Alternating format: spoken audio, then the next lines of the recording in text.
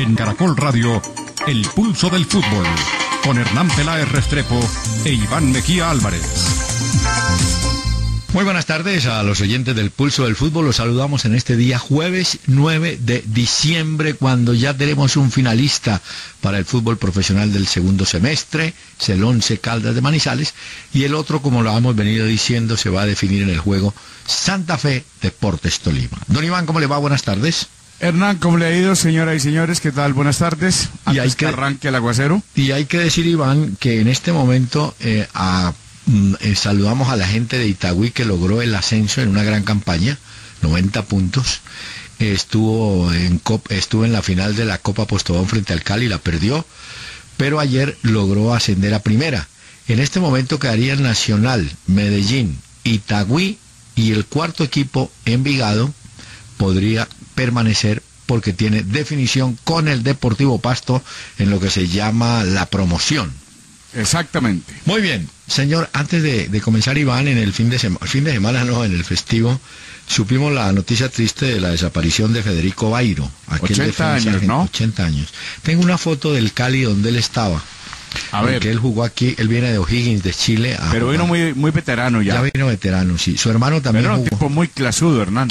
Dicen que fue en compañía de Marsolina en la discusión cuál fue el mejor lateral izquierdo, si Marsolini o Federico Bairo. Este muchacho comenzó en Rosario Central haciendo pareja con Pérez, el gallego Pérez, que ambos fueron Pérez, sí. y ambos fueron transferidos al River Plate.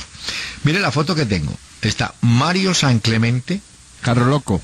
Joaquín Sánchez, el de Palmira, Sí, señor. el ya fallecido Oscar López, Isidro Olmos, Trucutru. Bairo Federico Bairo. y Novarini, Julio Novarini. Julio Novarini, que también fue de River Play, ¿no? Vino, vin- no, de gimnasia de grima vino. Eh, vino a- Ese jugaba bien, Hernán. Ese Sí, tipo le- tocaba la primera lenteja, pero jugaba bien. y adelante ya también hay varios desaparecidos, qué horror, cómo se va el tiempo. Chapasaya. Saúl Chapasaya, un puntero derecho. Y nueve jugaba bien ese Sí. tipo. Pepe Romeiro ya fallecido. Sí, Gallego, Jorge Gallego. sí. Está el desaparecido Edison Angulo y el brasileño Hiroldo Rodríguez. Esta Ese es el Deportivo Cali de 1964.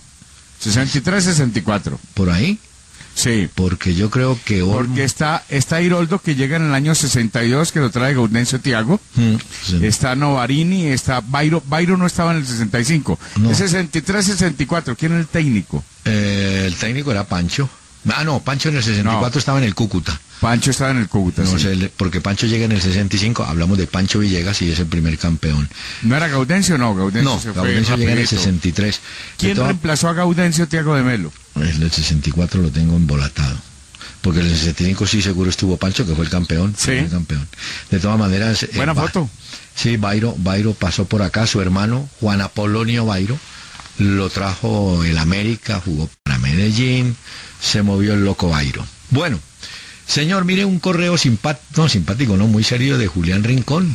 Dice, mire, sin comentarios, el año de Falcao García es extraordinario, miren los goleadores del presente. Los datos los entregó.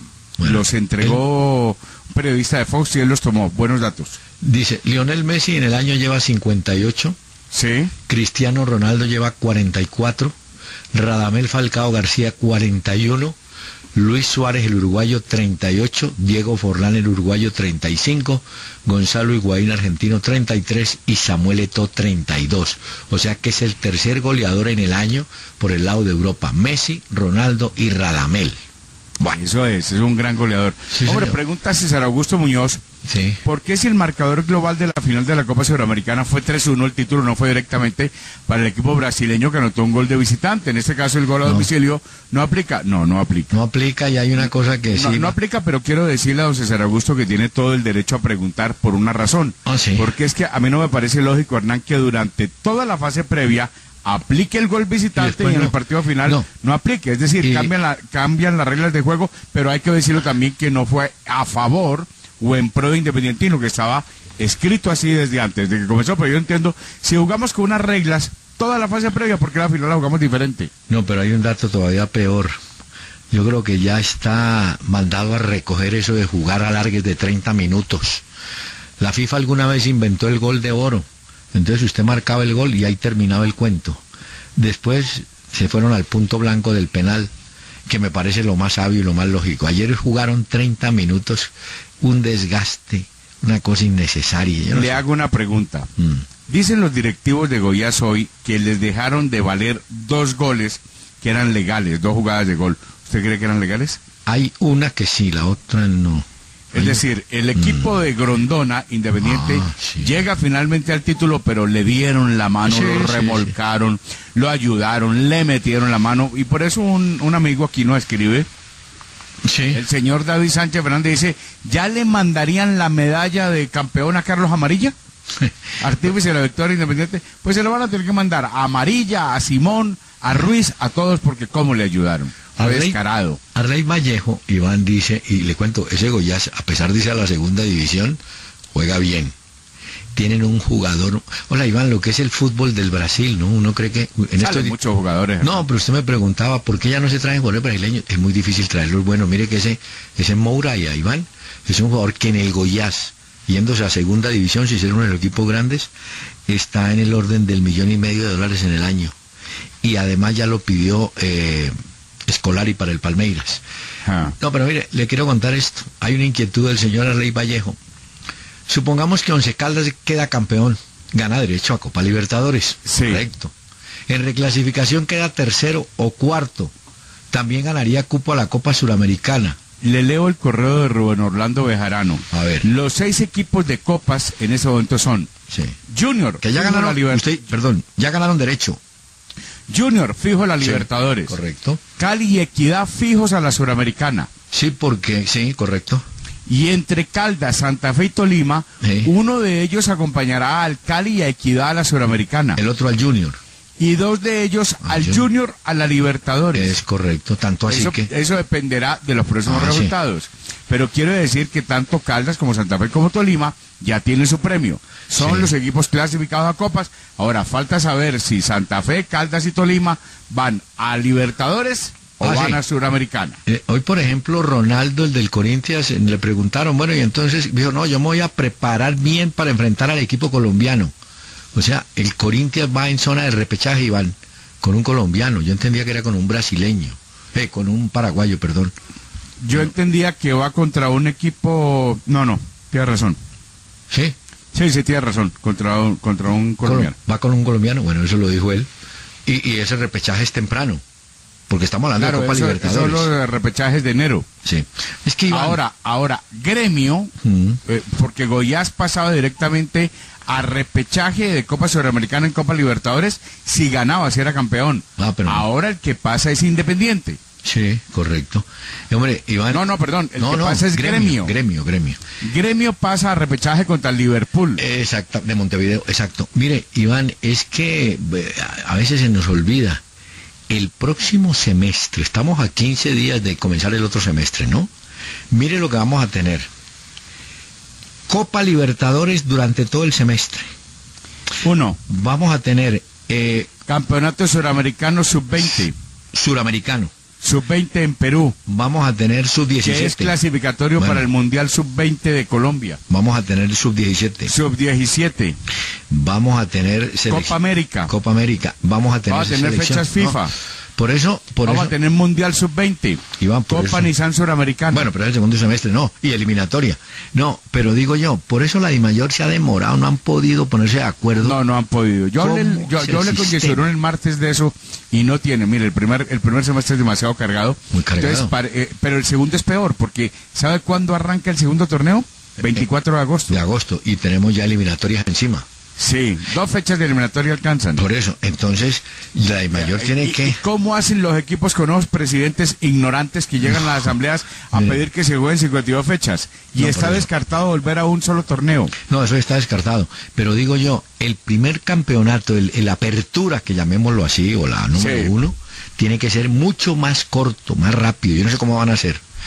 Porque además iban... Los dos, Hernán, No, los dos. Bueno, los dos. Los Pero- dos porque en el segundo semestre no tenés fecha, se arranca el 24 Y de una de agosto. vez. Va a tener que Y- aprender de- a jugar domingo, miércoles, domingo. Y de, y de una vez le digo para que no vamos a empezar a regañar a los equipos.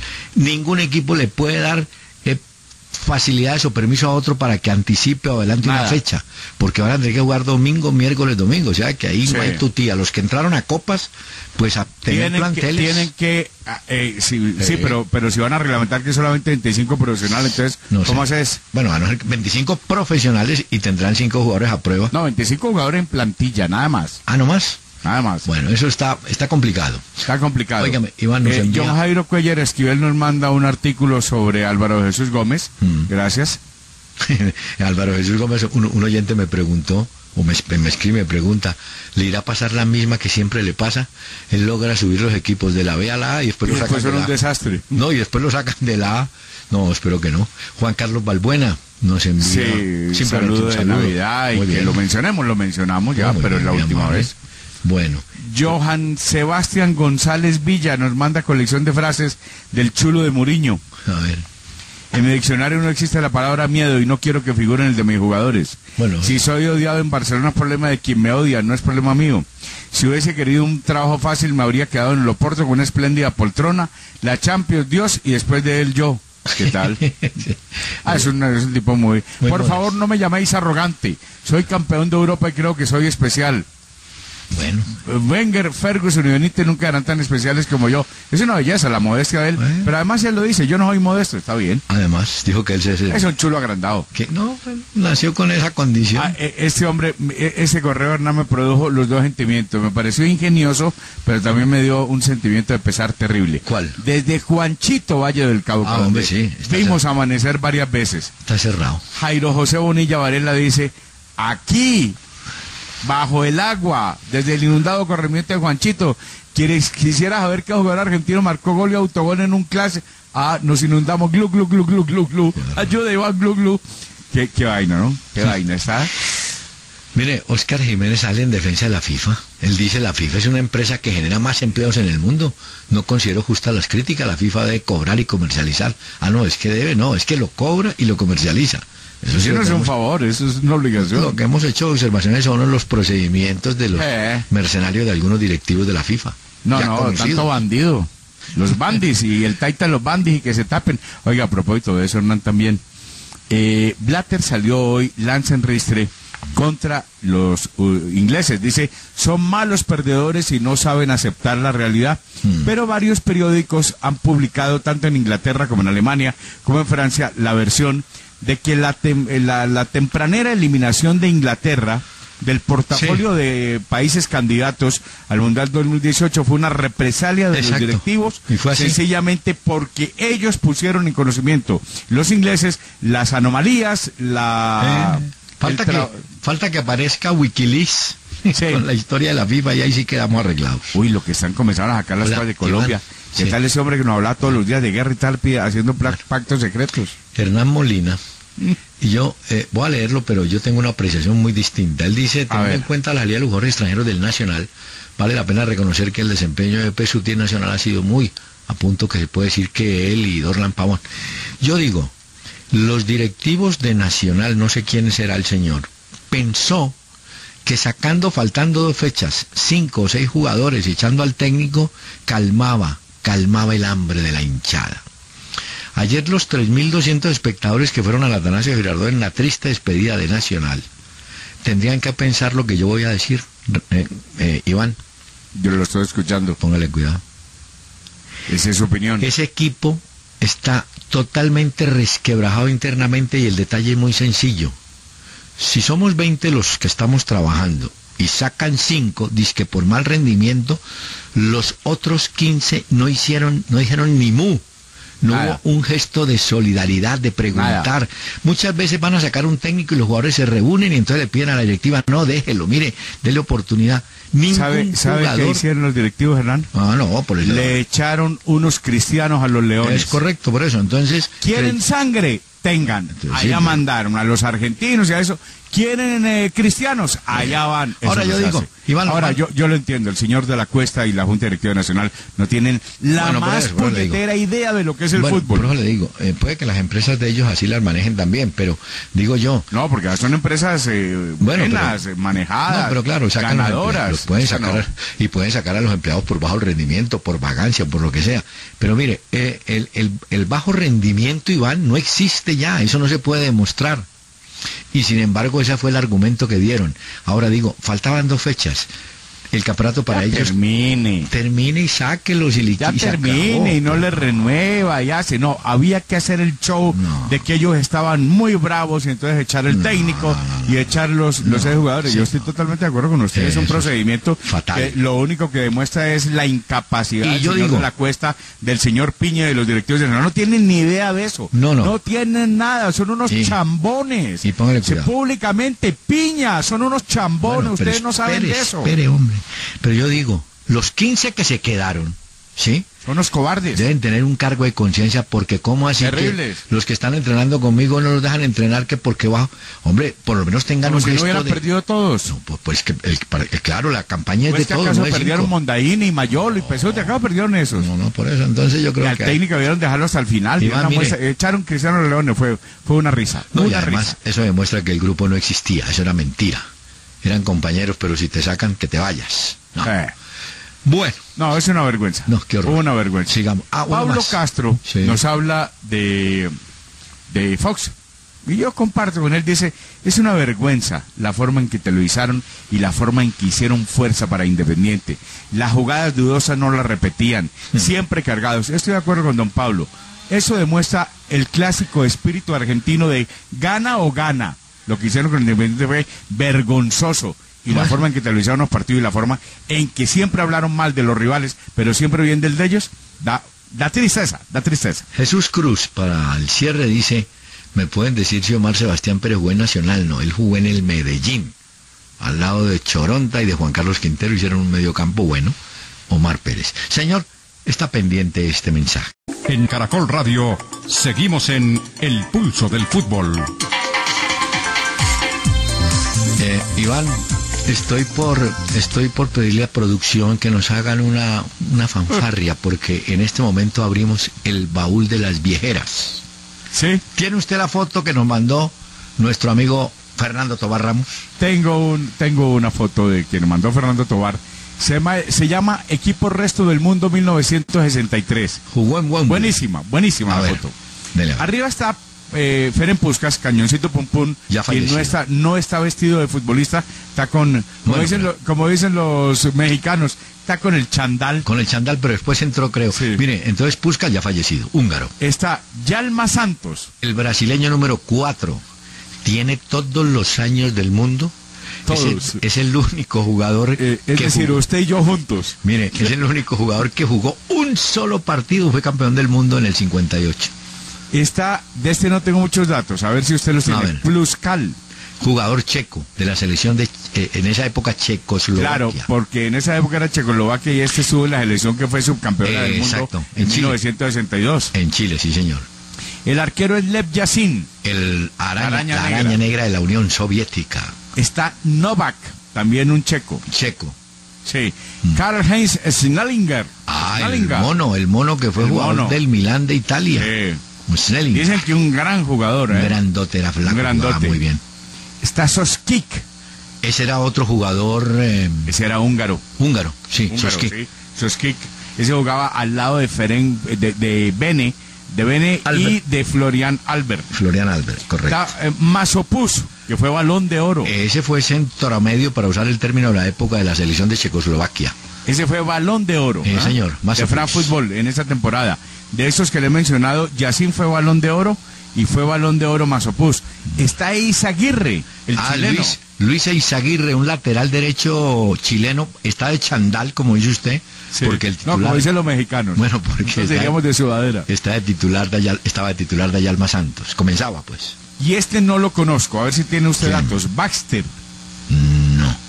Yo conozco laboratorios Baxter, pero Baxter Baxter no. ¿Era inglés? No lo conozco. No lo conozco. No lo conozco. Ya ya. nos van a aclarar. Bueno, abajo, Raymond Copá. Ah, el francés. Sí. que jugó en el.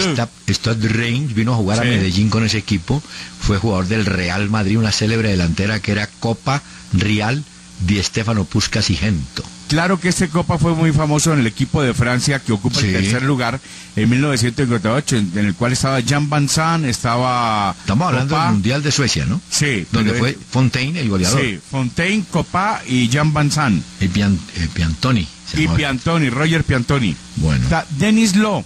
Ah, el escocés. Claro, este fue balón de oro. Dennis Law fue y, balón de oro. y yo creo que lo fue cuando estaba en el Manchester City. Estamos de acuerdo, es cierto. bueno. Está Alfredo Di Stefano, A la saeta. balón de oro. Balón de oro dos Está veces. Eusebio El portugués de Mozambique. de Mozambique. Gran mundial en el 66 hizo. Paco Gento, la galerna del Cantábrico. El puntero izquierdo del Real Madrid. Y está Uwe Sila. El alemán De Chandal. de Chandal está. Sí. Mire qué equipo ¡Qué tenía. equipo bravo! Ese equipo lo citó la FIFA en Wembley. No sé si fue contra Inglaterra. Bueno, tengo que averiguar si fue contra Inglaterra. Que A ver, hay 11, 11 en la cancha. A ver, tratemos de dar la alineación. El portero Yacine. No, sí, fácil. En esa época jugaban con tres, marcador derecho Yalma, marcador izquierdo Snellinger Sí. y el central a quién, Debe quién, ser, quién? debe ser uno de los, de los De- de- checos. debe ser el Pluscal, ¿no Pluscal, cierto? sí. Más ¿Y Zaguirre de qué jugaba? No, era lateral, lateral. Por Ah. eso no está de titular ahí. No, no estaba de titular. No, no. Eh, arriba de este, no, No, de no, Estefano Ma- en el medio. Masopus, el volante y Denislov, me imagino que le ayudaría. Danilo era un- sí, ah, pero es que hay demasiado. Mire, Y tiene a Paco Gento, puntero izquierdo. No, es que Eusebio, a- eh, un 10. Armaron- Y Estefano, un 10. Danilo, un puntero derecho. No, armaron- Copa, un 9. No, armaron, cu- a- la, ar- la- armaron la delantera así. Copa, Era un 5, un, tre- un 3-2-5. sí, Copa, Eusebio, Di Stefano eh, y Gento. Ah. Yo tengo cuatro ahí. Y Denis Locke. Y estaban los dos checos. Hola. Ah, ese equipo jugó, aquí están los datos de Fernando Tobar. Mm. Ese equipo jugó y perdió con la selección de Inglaterra Ah, bien. 2 a 1, con ocasión de los 100 años de constituida de la Asociación de Fútbol Británica. Muy bien. Muy Sí. buena foto. Esa Sí, va. señor. Algún día los tendremos en. Ya tengo, ah, le quiero contar a los oyentes para que se animen. Ya tenemos 17 fotos en planilla enviadas a España, porque hay que mandarlas a España. Ah, sí. Sí, eso Igual que la plata. La reina, la reina Isabel nos llama, entonces hay que mandarla ya. Oiga, yo la autorizo. ¿usted ya la mandó esta? Esta, sí, esta la mandamos ya. Está de camiseta azul la selección Sí. resto del mundo. Señor, por favor, una pausa en el pulso de Caracol.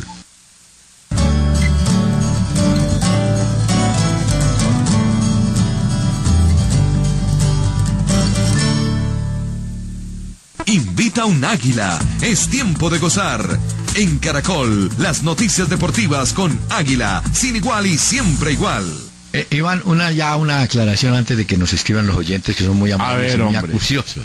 Sí. La foto donde aparece Federico Bairo Sí. corresponde a 1966. O sea, un año después de ganar el campeonato, luego el técnico Claro. era Pancho Villegas. Sí, sa- sabe que yo estaba pensando en que sí por una razón, porque Turcutru llega en el 65 Olmos, que es que campeón. Pancho lo había tenido en el 64 en el Once Caldas. Exactamente. Y, pero, pero, ¿sabe qué me falta en esa foto? En el 64, no, en el 63, porque En el 63, sí. Sí. No, en el, sesen- el 65. 65 es campeón el Cali, el 64 el subcampeón es Once Caldas con Pancho. no, el 64 el Cúcuta con Pancho Villegas. ¿Seguro? Ah, ya, sí, sí. Bueno, ¿qué me Sí, decía? sí, el Cúcuta. Eh, ¿Por qué no aparece el burrito ahí? No, El debe burrito estar... llega en el 66. Sí, no, la foto es, eh, claro, Está está la- incompleta. están 11 nomás. Pero, pero ¿sabe quién estaba también en ese 66? Estuvo Cuarentiña también, estuvo Garma, un Sí. argentino que trajo el Bucaramanga. Bueno, No, y estaba Romero, que Romero llegó entonces después, ya sí. aclaramos Bueno, Bayern muy en el bien. 66. Muy bien. Bueno, ¿qué vio ayer, hombre? Ah, no, ayer sí que ¿Vio el golazo de ese Nazarit? No, primero Cuando que uno todo- anda en vena, anda en vena, ¿no, Hernán? anda bien. Sí, lleva cinco goles, cinco Sí, partidos sí. haciendo gol, ¿no? Sí, no. Fue, la única vi- clara que tuvo y la pescó allá. ¿Qué le haría Vizcarrondo a, a Leider? No, que en Cuellada le pegó, lo echaron a Leider, hombre. Eh, al- el Quindío, el Quindío, ah, esto es para Dubán, para animar a Dubán, no vaya a decir nada, va a animar a Dubán Marín. El once Caldas del primer tiempo era el Barcelona de Guayaquil y en el segundo tiempo el Barcelona de Madrid, de España, perdón, para que se quede tranquilo Dubán. No, hombre. Sí, porque un tipo me escribió no, es que Dubán habló fue el Barcelona de Guayaquil. No. Ah, el ya. Primer Ah, tiempo fue Barcelona de Guayaquil. En el segundo tío tuvo cosas del Barcelona, señor, de Messi y compañía. Ay, hombre, Lo mató al favor. Quindío la lesión de, del chiquitico Rodas, yo. Sí, pero bonito el gol de entrada, ¿no? Ese portero Uy. no esperaba ese pique, esa bola. Eso, pero eh, normalmente pasa eso, Iván, le hacen sombra al arquero y, y el Sí. tipo se despista. Esas bolas de, de costado con Sí. eh, parte interna cruzadas son peligrosísimas. Y ese Morillo le pega bien Porque además es muy difícil para el portero. El portero está expectante, no sabe si le va a ir a, Sí. allí al cabezazo a media altura, si le va a ir. Esas balas bien complicadas. Bueno. Un equipo que trabaja eso hace daño. Eh, ganó bien en Once Caldas, goleó otra vez, un equipo que hace goles a la lata. Y Sí. anda bien mi Bien ese Micolta, ¿no? Ese bien. tiene facilidad para meter pases internos. Sí, ese- ese- pases interiores ahí entre los centrales y el lateral hace muy buenos pases. No, no, ah, Núñez, Sí. No, tiene- No, Núñez es el del tiro libre. el del tiro libre, no, pero el, me dice el lateral. Eh, no, No, no, no. Ah. Digo que Micolta mete los pases entre central y lateral ahí Ah, sí. profundos. no, y tiene gente que Y pique. para animar a Dubán, tipo Xavi. Bueno, vamos a seguir animando a Dubán porque el hombre quedó muy aplanchado. Óigame, ganó bien Santa Fe, hombre. En el segundo tiempo Sí. manejó la pelota, hizo, hizo las cosas inteligentemente, aunque fue un partido chatico, chatico, no fue un buen partido. No, eh, y la cancha estaba buena, ¿sabe? Sí, Cinco sí, mil- se dejó jugar. Cinco mil espectadores, bueno, una buena recaudación para la equidad, que de todas maneras aseguró una copa, como usted dice, una No, participación internacional. Equidad no. La equidad, ¿cómo que no? No, Equidad no. Miri Verán. No, no, Ah, bueno. No, Equidad no. Usted me dijo Cali y Equidad. Ah, sí, sí, sí, sí, sí, Ah, sí, Cali y. Equidad, sí, sí, sí. Ay, ya se pone bravo Alexis, hombre, ¿quién se lo...? Mire, Alexis, ¿no será que Alexis termina en Nacional? Biafara también salió bravísimo con el árbitro. ¿No será que Alexis termina en Nacional porque dicen que son o Peláez? eh, ahí es que una asociación de hinchas de Nacional pidiendo a Peláez. Eh, ah, lo, Juan José, no te firmes cartas solo, eso es lo- muy feo. lo único que le digo es esto, hay que respetar la idiosincrasia de Nacional. Alguna vez Samuel Calderón, bogotano él, llevó a Cheche Hernández. Eso ni para qué, eso fue desastroso. Tiene que ser un técnico paisa, entonces los candidatos son Peláez, Sachi Escobar, dicen.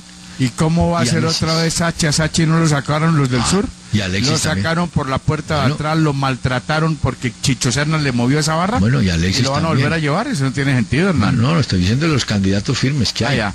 ¿No? Pero primero que todo, el que llegue, llame al jugador y dígale, bueno hermano, aquí sinceramente Ya, ustedes... Cuéntenme a ver si me van a ayudar o no Sí, me van a ayudar. o ¿Me van a tumbar el cajón o qué, qué- qué van a hacer conmigo? Bueno, Sí. mire, mm, hola Iván, parece que Mondragón, esta noticia es de última hora, Mondragón dejaría la Bundesliga y se va al fútbol de los Estados Unidos, a la MLS. ¿Es hora de ir al cementerio? No, hombre, va a jugar inclusive en el Philadelphia Unión. El dato lo trae hoy la revista alemana Kicker, recordando que Mondragón frisa a los 39 años. Hola Hernán, ¿cómo se le complicó ese partido al Tolima? Ah, ¿Cómo iba ganando de fácil y se descuidaron? Y Hernán Torres dice que el equipo lo ve muy cansado. Se le había se lo que- dicho que estaba el equipo cansado. Sí. Y eso que, eh, Iván, eso que de todas maneras eh, Perlaza volvió más o menos bien. Lo que yo tengo perdido es esto. Hay un defensa Monsalvo, ¿no es cierto? Sí, Monsalve. ¿Es Monsalve o Monsalvo? Monsal... No, no. Porque es que mire, en Argentina, la en la lista de jugadores que también allá sacan a la lata, sacaron de Rosario Central unos jugadores y figura un colombiano, Cristian Monsalvo. A mí me suena Monsalvo por el lado del Tolima, pero no sé si es el mismo, no sé. En todo caso aparece un colombiano saliendo de ahí. Bueno, eh, a ver, de el Caldas ganó bien, Tolima sufrió pero ganó. Sí, y Cúcuta Santa Fe bien, con el empate está en la final. Sí, el Cúcuta lo vi bastante bien, eh, pero no le va a alcanzar, ya, ya no le No, alcanzó. no, no, pero hizo buena campaña. Recordemos que la última fecha, Iván, así tenga equipos ya eliminados, sirve para reclasificación, ¿no?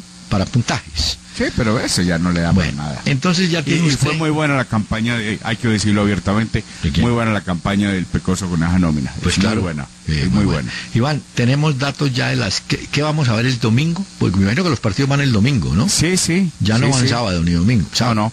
Se ve Santa Fe Tolima que va a las 5.30 por RCN. Ese es el partido que define. Sí. Con el empate Santa Fe entró, ganando Santa Fe entró, ganando Tolima entra. Y se ve Cúcuta Nacional. Se ven ¿Qué? los cuatro partidos, Hernán. Ah, bueno, ese sí, ya Cúcuta. no. Pero, pero realmente el partido va a haber el domingo. Es Santa Fe el- Tolima. es Santa Fe Tolima. Sí, porque inclusive- Con el empate Santa Fe va a la final. Es más, Iván, yo creo que el Once Caldas también refresca un poquito la nómina. Sí, yo creo que ya sí que está- da ya está ya se ha clasificado. Ahora, a Once Caldas le interesa por tema reclasificación moverse, ¿no? Sí, señor.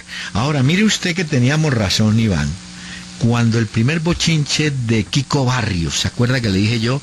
Hombre, acuérdese que Kiko Barrios una vez también armó un rollo con Galarcio en la B con Valledupar, Cartagena. Kiko Barrio no es cristiano, ¿eh? Bueno, sí, pero los cristianos también pecan. ¿O no? Y mucho. Y mucho. Yo tengo en la emisora unos que, que se saben la Biblia, pero también, bueno, entonces le decía que la D mayor sanciona a Kiko Barrios y al jugador Batiste Sí. y quedó liberado el pasto de eso porque nunca se demostró ni se pro nada. Un bochinche ahí armado, no sé. Bueno, Tolima 80. ¿cómo así? 80 puntos en Ah, reclasificación. ah, Tolima. Santa Fe 75. Caldas. Caldas 71. Bueno, Santa Fe puede puede acortar el domingo. Sí, puede acortar, pero y entonces Santa Fe entra a jugar, si ganando, entra a jugar la final puntos. o empatando entra a jugar la final. Entra a jugar Y seis tiene- puntos. entra a jugar. Pongamos que Tolima y Santa Fe empate, 70, quedan 81 y 73. Pero, ah, no. Sete- no, señor. Usted me dice que tiene no, no, 80. perdón. 80. Sí, no, si no, empata hace otra razón. 81 el Tolima. Sí, y el otro hace 100 de 75, queda 76. Son 5 puntos de diferencia. en Cinco este que los puede recuperar Santa Fe en las dos partidos de la final. Si Ajá, gana. Si Avanzando. los gana. Sí, no, por eso. Entonces, ¿No es cierto? El, el Tolima, ¿no? Y yo conociendo al senador, el senador prefiere que entre por reclasificación. No hay que pagar premio. Sí, el senador dice, no, ustedes no ganaron. Tranquilo a Camargo, hombre. No, pero si el tipo lo, hombre. el tipo así, no, no, ¿cuál premio de qué? No, no, no, no, tranquilo. tranquilo a Camargo. Óigame, reclasificación. Bueno, eh, empataron León de Huánuco y San Martín 1-1. Equipos que van a la Copa, ¿no? Eh, eh, sí, uno de ellos, el segundo, ese enfrentará al Junior. Exactamente. Bueno, lo, Lo, de, que no sé es dónde jugaron el primer partido. Creo Iván- que en Huánuco. Iván, Huánuco. lo de, lo de, River le ganó, eh, River perdió con estudiantes 4 por 0 bailado y paseado. Uy, eso sí Yo fue que no estaba, ver, eh, no estaba oiga, Verón. eso fue un, un, un papelón el de Rivero, ¿yo? Sí. Bueno, falta un par, viene un partido Vélez Arfield. Vélez le ganó a Huracán y entonces la última fecha, con dos puntos de ventaja, al igual que Santa Fe, con un empate, Estudiantes era campeón. Y juega contra Vélez. Juega contra Arsenal, Ah. el equipo de Gustavo. Lo expulsaron. Alfaro. Lo expulsaron la última. ¿A quién? A ese Alfaro en el último partido lo echaron, el que ganó 2-1. Se echaron. está poniendo muy bravo está Alfaro. poniendo bravo el hombre. Alfaro, eh, hay que, hay que Eh. decirle que, que hay que aplicar la mente del gol, Sí. frío siempre para poder hacer es las cierto. cosas. Bueno. Y el otro, Vélez Arfiel juega contra Racing. Ah, hizo gol, ah, hombre, en el, el- dice que fue un partido, yo no lo vi, un partidazo Godoy Cruz Racing 1-1. Eso no puede ser un partidazo. Sí, hombre, jugar. Hombre, que Ah, no, hombre. Un partidazo puede ser Valencia-Manchester United. Ve, pero un partidazo puede ser eh, Real Madrid-Barcelona. Bueno, sí, pero, Godoy Cruz Racing no puede ser un partidazo. Hombre, bueno, Qué un- pena contigo, hermano. Pero fue un partidazo bien jugado, dicen, señor. Ah, dicen, dicen. ¿Quiénes Eh, dicen? ¿Los periodistas argentinos? sí, marcó ¿Los gol. Fox? No les creo. Marcó gol el Tigre Castillo, salió lesionado. Y Moreno, Giovanni Moreno y Toranzo se llaman las figuras de Racing. Racing parece que alcanza cupos también, Iván. No, no, no, no, no, no, no. No. Si una de las cosas que estaba feliz y que cantó ayer la hinchada y que cantaban los jugadores de Independiente fue que sacaron a Racing. Sí, de la. Copa. Sí, sí. Con la victoria entra directamente Independiente y sacaron, le quitaron el cupo a Racing. Eh, hombre, ahí están pintados. Señor, Sí, gozaron más por sacar a Racing que por ser campeones. señor, permítame, por favor. Lo que tendrían es que ponerle al, al vestuario allá en el Estadio Libertadores. Vestuario Julio Humberto Grondona. Bueno, Muchas señor. gracias, Julito, por todos los favores recibidos. Un mensaje, por favor. Seguimos llegando gracias a Mensajera TCC, que en esta Navidad y todo el año cubre 1051 destinos nacionales. En el pulso del fútbol, la jugada del día. Hay varias jugadas, Iván. Diego Aguirre es por tercera vez nuevo técnico del Peñarol de Montevideo. Otra jugada, Prosinecki, ¿lo recuerda el mono? Sí, señor, el mono jugaba Es el nuevo director técnico del Estrella Roja, que era un equipo que venía mucho a Colombia. Estrella Roja de Belgrado. Sí. Bueno, y el Partizan también venía. Bueno, em, le Eh, eh, es- Está claro, en Italia lo tienen todos claros. ¿Qué? Después del Mundialito de Clubes sale Rafa Benítez. No le perdonan ese 3-0 y la bailada que le pegaron al Werder Bremen. Hablando del Mundialito, 40 horas se demoró el Internacional de Porto Alegre para llegar a su sede, donde el viernes, mañana, jugará el Pachuca de Miguelito Calero. Estos son, del estos son los equipos de primero, que clasificaron de primeros. Tottenham, Chalky 04, Manchester United, Barcelona, Bayern Múnich, Chelsea, Real Madrid y Shakhtar. Ellos reciben o al Inter, o al Lyon, o al Valencia, o al Copenhague, o a la Roma, o al Olímpico de Marsella, o al Milán, o al Arsenal. Cabe destacar que no puede haber en esta ronda enfrentamiento entre equipos del mismo país. Entonces, Real Madrid y Barcelona tienen que descartar al Valencia 1 y tienen que descartar a los equipos con los cuales salieron segundo. Es decir, no tendrán de rivales al Copenhague y no tendrán de rivales tampoco al Milán. El Corinthians del Brasil oficialmente le pide al Roma condiciones para repatriar a Adriano. Esa es la novedad que hay hoy en Brasil. Y hay otra, Iván. Carlos Alberto eh, Parreira vuelve a trabajar a Brasil. No sé exactamente en qué club, pero vuelve al fútbol del Brasil. Y nuestro amigo Julián Biafara, a pesar de la buena campaña, se fue a la segunda división. Le con pregunté a Yesurún. Hmm. Es cierto que Soto, es cierto que Biafara, es cierto Están que. Valencia están vetados. No, pero Iván, ¿cómo vas a decir Ah, bueno, eso? perfecto. ¿Cómo se te ocurre, Iván? Te juro que aquí no hay vetos. Ya, Ramón, ya, ya, ya, ya. No, yo creo que Yesurún diría, este sí es más mal pensado. No están vetados, señor. Dicen ellos. Dicen Vamos a- ellos. Vamos a creerles. ¿Usted qué cree? Que sí estaban vetados en el fondo, pero... Pero claro, no lo pueden no decir. pueden decir, ¿Qué tal no. que le diga, Ramón, están vetados? Y diga, Sí, los vetamos. No, No, no, no, no. eso no te lo pueden hacer. Entonces, no, eso no existe, eso no Hombre, es posible. Iván, hablando Aquí de- el fútbol colombiano jamás ha ¿Sabe habido un veto. Mayolo, Mayolo puede terminar en Junior de Barranquilla porque en Barranquilla ese rollo de Carlos Vaca y de Teófilo eso no lo arregla nadie. Entonces como que dijeron vamos a conseguir un extranjero porque el 9 de aquí no le gusta, ni a Vaca Ajá. le gusta, ni al otro. ¿Ah? Está muy Sí. bien. Señor, ¿Y quién es el padrino? ¿Efraín Pachón y Quintabani?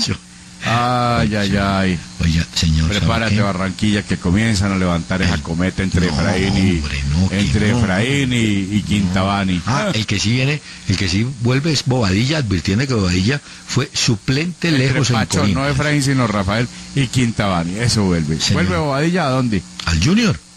¿Así? Sí, porque ese jugador pidió, eh, mejor dicho, en Brasil nunca tapó, Iván. Nunca. cobró y nunca tapó.